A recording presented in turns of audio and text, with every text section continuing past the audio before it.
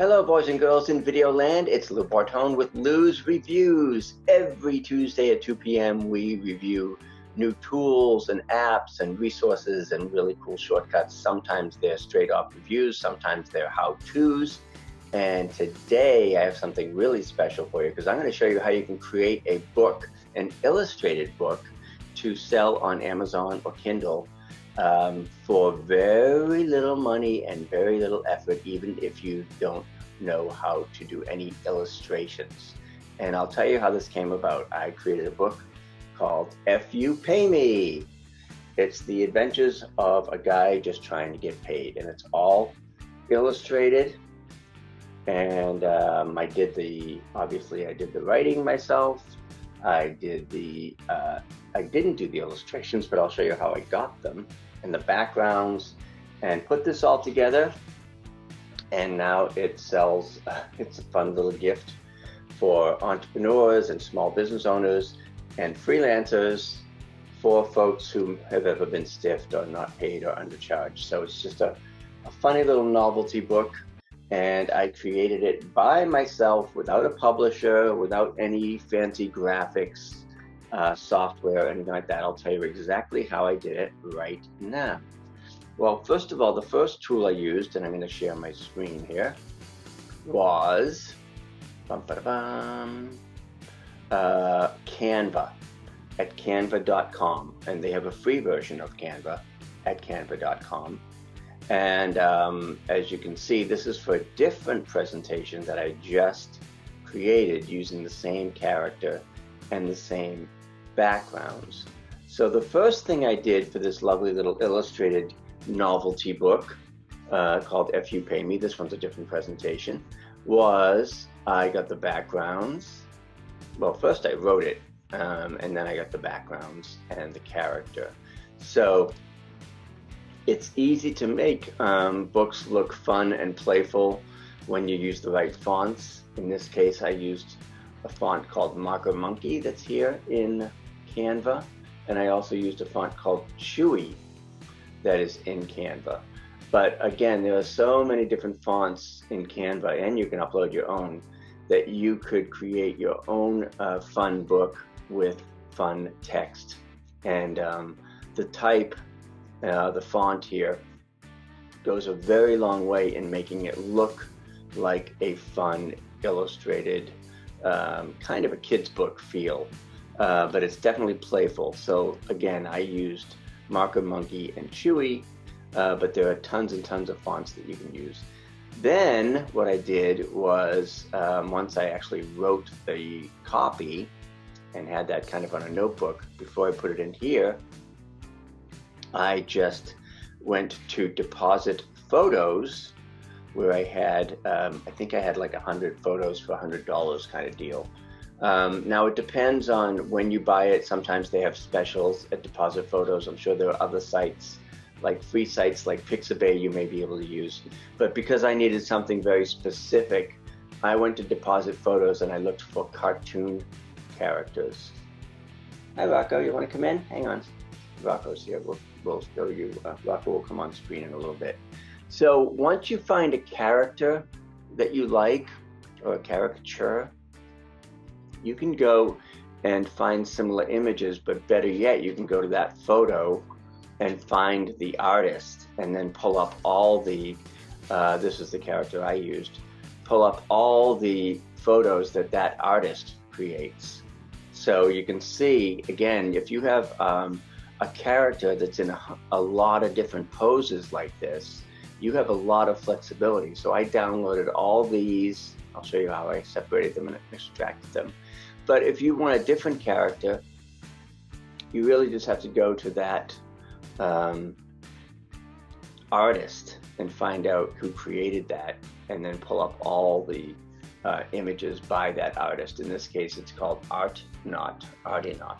So I pull up that um, artist and now I have tons of different characters that have the same look and feel from that artist. So if I wanted this um, redhead woman, I would just download a bunch of these different ones. So I'd have all different poses, um, her with signs, if I wanted this old guy with the glasses, this professor dude, I could um, download a bunch of those. And again, Deposit Photos has really good deals once in a while. So wait until they have a, you know, 100 photos for $100 or 100 downloads for $50 or something like that, which I got on AppSumo once. Um, let's say you're doing a video or a, a fun and frivolous book about construction. Maybe you take the construction lady. And again, there are tons of different poses. So if you go here and you download that, then you can extrapolate those characters to use in your story. So that's the character. That's how you find the character. Find a character style you like, and then find the artist and go to the artist page, and that way you can get a, a ton of different um, poses and styles and scenarios with that particular character. So here's our character on uh, devices. Here's our character shopping. Here's our character just in different poses if we're using this one. And once you download that, download the vector, um, you'll have, you know what, a ton of little characters here, 12 just in this one photo. So if we did that, now I've already downloaded my character. Um, once you do that, I'll download one as an example here. Um, I'm just going to take a sample and I'm not going to use this because I'm not buying it. I'm just using it for, for demonstration purposes. And if I take that and copy it, just call it sample. So let's say you have downloaded this legit. Um, now what you're going to do is you're going to go to remove.bg, remove background. That is a free site. Hang on a second, we'll pause the recording until we get there. So go to remove background, remove.bg. This is so easy and it's free, so it's awesome. And then go to where it says select a photo. Now we just downloaded this um, from Deposit Photos with the different characters in it. There's a whole bunch of characters. Um, and as you can see, now again, you, you have to buy this if you're actually going to use it, but just for demonstration purposes. As you can see, it's now knocked out the white background, so these are all transparent characters. So if I download that, I'm now going to have that character as a transparent character that I can then use in Canva. So once I select the characters that I want and I make them all um, you know, basically I could edit them if I wanted and just pick one or something like that or crop it. But once I do that, I could actually even put them on different backgrounds straight away within uh, remove.bg, but I don't want to do that because there's 12 of them. So let's stop that for a second. We've got our characters, we've made the backgrounds transparent in remove background, and now we go back to Canva and upload those characters. So in my case here, I've got my two thug guys that I could pull in here and add them or resize them. Or uh, in my case, this is my character, so I have this character in a lot of different um, scenarios here. He's really sad. Again, I can change the size in Canva. So all I did was I, I uploaded it to Canva and then I dragged it onto my canvas to start to create the scene. Now, one other thing that I didn't mention that is really important is you have to have your backgrounds. You could just have a blank color background, I suppose. The great thing about Canva is if you click this copy page, it'll give you another copy. So I could theoretically change the background of this page to a solid color or just about anything else like that. See how I just changed that? Or I could change it to a solid color or a scene a landscape, um, pretty much anything. So, but again, what we want to do is we want to use our cartoon backgrounds, which we have not sourced and uploaded yet. But once you do that, you can see how easy it is to move stuff around and move the text and change the background. And maybe we want him on a beach.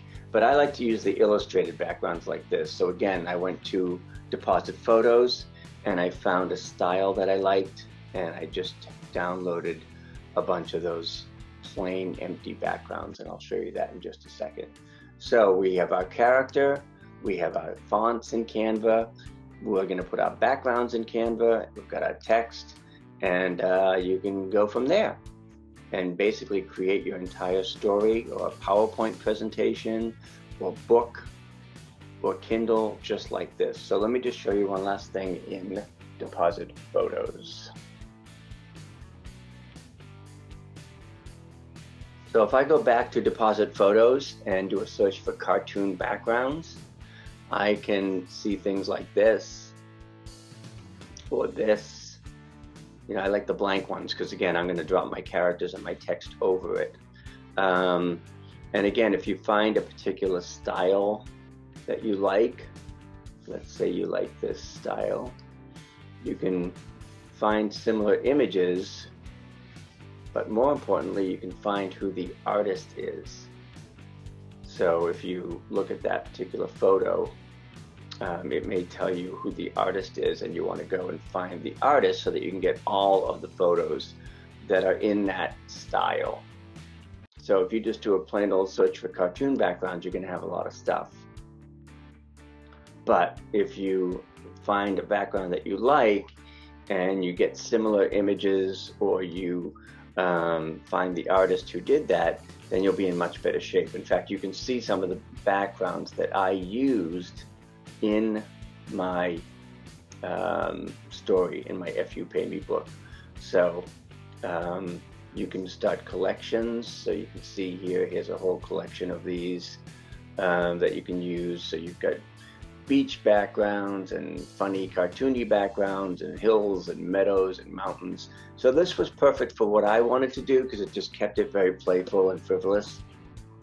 So I downloaded a bunch of those backgrounds and once again we go back to good old Canva and that's where we imported, uh, uploaded I should say, those backgrounds.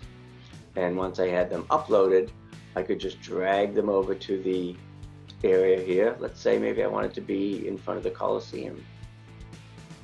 I just bring it over here like that. And there it is. Now again, this doesn't pop very well off that color, but you can change the colors up here. You can change the size. You can obviously space them out wherever you want. So the idea is you can put pretty much any background you want there. Cartoony background, uh, photo background, whatever you may be working with. Um, so the sky's the limit, and uh, there's no um, there's no limits except your imagination. So they say the only limit is your imagination. So now I've got this guy in a room. And again, you can move it around, you can resize it. So again, you build your story, you build your backgrounds and illustrations, you bring your character into it, uh, I know these guys wouldn't fit, but you know, if you want to decide to have a, visit by the game, Game of Thrones cap crew, I took this photo and just did remove.bg, remove background to get the um, backgrounds out of it. But now we're just fooling around. And then you uh, put in your text and choose a nice, fun, playful font. Put it all in Canva. And then once you've got your entire presentation here, your entire story like this. Uh, you can download it as a PDF or you can download it as separate images if you decide to do that. But PDF is good because then you've got a nice PDF file that you can upload right to Amazon. There's a little bit of reformatting that has to happen to get it on Amazon, but ultimately, ultimately you end up with a book on Amazon.com so easy, just like that. So um, again, you, you got to set the size and that before, but you have a lot of flexibility to do that.